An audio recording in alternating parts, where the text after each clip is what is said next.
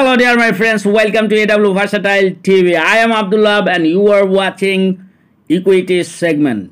आज का जो स्टॉक है उसका नाम है मेगा मनी फाइन खेम अभी चल रहा है चौदह लेकिन ये ये स्टॉक जाएगा बाईस सौ रुपया जो यहाँ पे रेड लाइन देख रहा है फोर्टीन हंड्रेड का उसके ऊपर बाई और थर्टीन हंड्रेड ये स्टॉप लॉस है टारगेट है बाईस सौ रुपया। Thank you very much